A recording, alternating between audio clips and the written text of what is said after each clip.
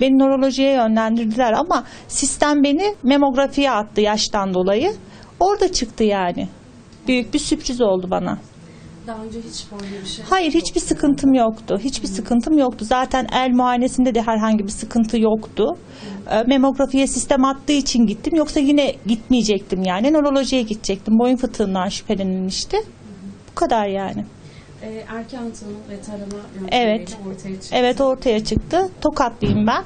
Gülhane'ye geldim Mehmet Ali Bey'e. Allah razı olsun göğsümü almadan operasyonu yaparak kurtardı beni.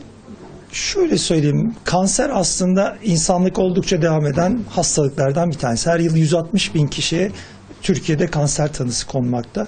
Yaklaşık 70-80 bin kişi de her yıl kanserden ölmekte, kaybetmekteyiz. Ama şöyle bir şey var, en sık kadınlarda görülen kanser meme kanseri. Her 8 kadından birinde karşımıza çıkacak. Ömür boyu %12 ile 13 civarında biz meme kanseriyle karşı karşıya kalacağımız bir hastalık. Ama meme kanserinin şöyle bir e, özelliği var, iyi bir özelliği bizim açımızdan. Erken tanı ve tedaviyle biz hayat kurtarıyoruz. Erken tanıyı özellikle 40 yaşından sonra meme kanseri görülme sıklığı artmaya başlıyor.